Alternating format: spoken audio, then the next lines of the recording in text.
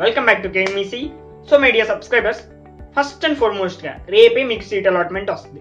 So రేపు మీకు seat allotment వచ్చాక చాలా మంది కోరుకునే మేజర్ విషయం సిఎస్సి రావాలని సో సిఎస్సి రావాలి అనుకుంటే మిగతా వాళ్ళు ఏమనుకుంటారంటే సిఎస్సిలో ఏముంటాయి అసలు? అంతలా ఏముంది దాన్ని కోరుకోవడానికి అని చూసేవాళ్ళు కొంతమంది. తర్వాత జాబ్స్ తీసుకోవడానికి సిఎస్సిలో మేము మేజర్గా ఫోకస్ చేయాల్సిన ఇంపార్టెంట్ సబ్జెక్ట్స్ ఏంటి అని కొంతమంది. ఆ తర్వాత మేము గేట్ రాయాలనుకుంటున్నాము. ఈ ఇంజనీర్ బీటెక్ అయిపోయిన తర్వాత మరి ఎంటెక్లో జాయిన్ అవడానికి మేము గేట్ రాయాలంటే వాటి ఇప్పుడు ఈ బీటెక్లో కవర్ చేయాల్సిన ఇంపార్టెంట్ టాపిక్స్ ఏంటి అని కొంతమంది. ఈ త్రీ టైప్స్ ఆఫ్ క్యాండిడేట్స్కి ఉపయోగపడేలా వీడియో చేయాలని చాలా రోజులుగా రీసెర్చ్ చేస్తూ నేను ఏం చేశానంటే గేట్ సిలబస్ తీసుకున్నాను గేట్ సిలబస్ తీసుకొని గేట్లో కంప్యూటర్ సైన్స్ సిలబస్ ఏవైతే ఉందో దాన్ని స్టడీ చేసి అది ఏ ఏ ఇయర్లో ఎప్పుడు వస్తుంది. దానికి సంబంధించి ఏమన్నా ఒకటి ఉంటాయి అని మొత్తం సెర్చ్ చేసి వీడియో తీసుకొచ్చా?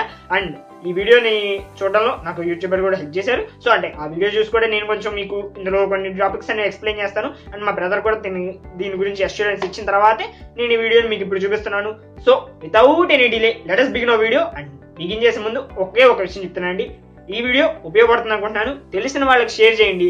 అండ్ వాళ్ళని కూడా సబ్స్క్రైబ్ చేసుకోమని చెప్పండి. Because we are enriching day by day so ఏమాత్రం ఆలస్యం చేయకుండా లెటస్ బిగిన్ వీడియో అండి.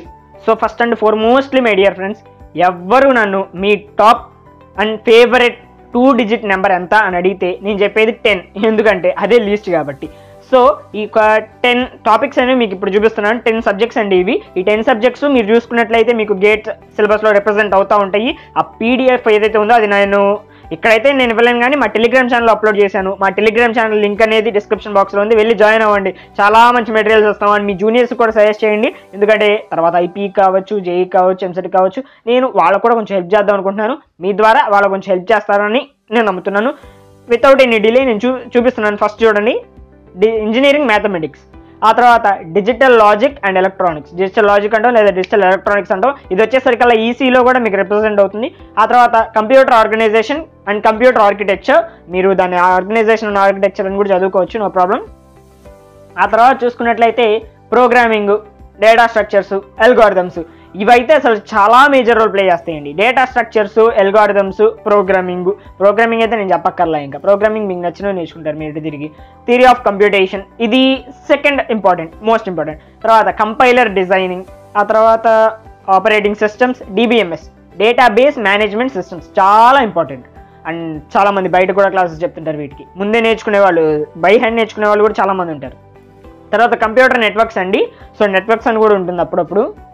ఓకే మీరు చూసుకున్నట్లయితే ఇది ఏ ఏ సంవత్సరాల్లో ఏ ఏ సెమిస్టర్స్లో వస్తుంది అనేది ఒక అంచనా ప్రకారం వేసి ఉంచాను. ఇదైతే నాకైతే నమ్మబుద్ధి కావట్లేదు కానీ మీరు కూడా నమ్మమాకండి. మీ కాలేజ్కి వెళ్ళాక అప్పుడు ఈ సబ్జెక్ట్స్ని ఏ ఏ సెమిస్టర్లో ఏ ఇయర్ వస్తాయి అనేది అక్కడ సీనియర్ గాడికి కనుక్కోండి. ఎవరైనా ఫోర్త్ ఇయర్కి వచ్చిన సీనియర్ ఉంటారు కదా వాళ్ళు కొంచెం ఖాళీగానే ఉండే ఛాన్సెస్ ఉంటాయి లేదా థర్డ్ ఇయర్కి వచ్చిన వాళ్ళని వాళ్ళని అడిగి కనుక్కోండి. అంతేగాని నేను చెప్పానని మాత్రం గుడ్డిగా నమ్మద్దు.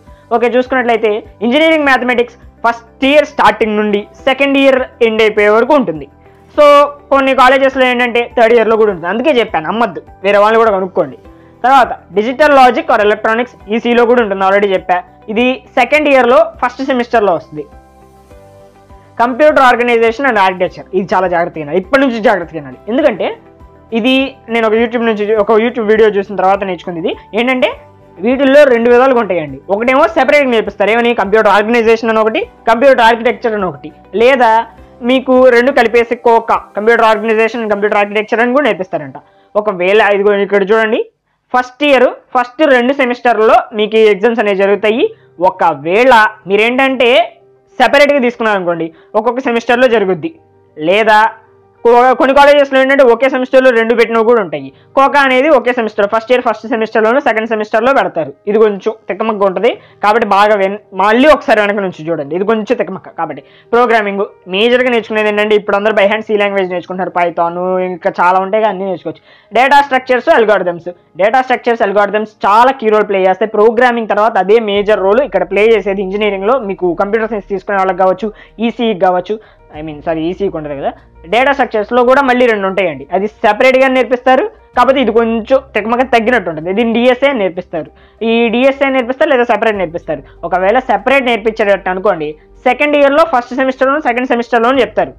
లేదా ఇది ఒకే సెమిస్టర్లో అంటే ఏంటంటే ఇది ఒకేలా నేర్పించాము డిఎస్ఏ నేర్పించేస్తారు అనుకోండి సెకండ్ ఇయర్లో ఐదర్ ఫస్ట్ సెమిస్టర్ లేదా సెకండ్ సెమిస్టర్లో చెప్తారు. మళ్ళీ ఒకసారి చూడండి అది కొంచెం తిక్కమక థియరీ ఆఫ్ కంపిటీషన్ దీన్ని టీఓసి అంటాం. సో ఇది థర్డ్ ఇయర్ ఫస్ట్ సెమిస్టర్లో వస్తుంది చాలా ఇంపార్టెంట్ తర్వాత కంపైలర్ డిజైన్ ఇది నేను పర్సనల్ సజెషన్ చెప్తున్నానండి. Very important subject as a core చా ఒక కోర్ సబ్జెక్ట్ కింద ఇది కొంచెం ఇంపార్టెంట్ మీకు ఇది మిక్స్ విత్ టీఓసి చెప్తారు కొన్ని చోట్ల. ఈ సెపరేట్గా కూడా చెప్తారు కొన్ని చోట్ల. అంటే ఏంటంటే ఇది ఎక్కువ శాతం ఏంటంటే సెపరేట్గా చెప్పడానికే చూస్తారు కానీ మిక్స్ విత్ టీఓసి చాలా తక్కువ. థర్డ్ ఇయర్ ఇఫ్ ఒకవేళ మీకు కానీ కలిపేసి చెప్పాను అనుకో టీఓసీతో కానీ కలిపేసి చెప్పాను అనుకో ఫస్ట్ సెమిస్టర్లో పెట్టేస్తారు. లేదా లేదు కలపలేదు అంటారా సెకండ్ సెమిస్టర్లో పెడతారు. తర్వాత ఆపరేటింగ్ సిస్టమ్స్ ఆపరేటింగ్ సిస్టమ్స్ వచ్చేసరికల్లా మీకు థర్డ్ ఇయర్ ఫస్ట్ సెమిస్టర్లో వస్తుంది. అండ్ అది కొంచెం ఇంపార్టెంటే కంప్యూటర్ నెట్వర్క్ నెట్వర్క్స్ వచ్చేసరికల్లా థర్డ్ ఇయర్లో మళ్ళీ ఫస్ట్ సెమిస్టర్లోనే వస్తుంది. ఇప్పుడు మోస్ట్ ఇంపార్టెంట్ అనుకుందాం డిబిఎంఎస్ సెకండ్ ఇయర్లో సెకండ్ సెమిస్టర్లో నేర్చుకుంటారు. చాలా జాగ్రత్తగా వినండి. చాలా బాగా నేర్చుకోండి దాన్ని. ఎందుకంటే రేపు మీకు ఫ్యూచర్లో బాగా స్కోప్ ఉంటుంది దీనివల్ల. సో అంతేనండి. ఇంకా ఏం లేవు. మీకు ఏవైతే చెప్పాలనుకున్నానో అవన్నీ చెప్పేశాను. సో ఈ టెన్ సబ్జెక్ట్స్ మీకు మేజర్గా అనిపిస్తున్నాయి నాకైతే. మరి మీరు పాటించాల్సిన అవసరం లేదండి ఈ లిస్ట్నే పాటించాల్సిన అవసరం లేదు. తెలిసిన సీనియర్స్ని అడగండి. అక్కడ ఉండే ఫ్యాకల్టీని కనుక్కోండి. మీరు ఇటు తిరిగి రేపు సీట్ అలాట్మెంట్ వచ్చాక ఖచ్చితంగా వెళ్ళండి ఒకసారి కాలేజీకి కాలేజీకి వెళ్ళి కాలేజీకి జారక ముందే వెళ్ళండి. వెళ్ళి అక్కడ ఏం చేయాలి ఏంటనే మొత్తం కనుక్కొని రండి. కాలేజ్ జాయిన్ అయ్యే ముందు ఫస్ట్ ఏం చేయాలి అనేది రేపు ఒక వీడియో చేసి పెడతాను. హ్యాపీగా చూడండి పాటించండి మంచిగా రిజల్ట్స్ వస్తాయి. నేను ఇప్పటి వరకు మీకు ఇచ్చిన ఇన్ఫర్మేషన్ అందరినీ బాగా యూస్ చేసుకున్న ప్రతి ఒక్క సబ్స్క్రైబర్కి very very very very very thankful to you because నేను ఇంత చేసేది మీరు బాగుండాలనే సో మీరు బాగున్నారంటే నా గజ్జాలు. సో అండ్ ఇంకొక రీజన్ ఉంది ఛానల్ స్టార్ట్ చేయడానికి. అది నవంబర్ లెవెన్త్ అని చెప్తాను. నవంబర్ లెవెన్త్ లైవ్లో జాయిన్ అవుదాం.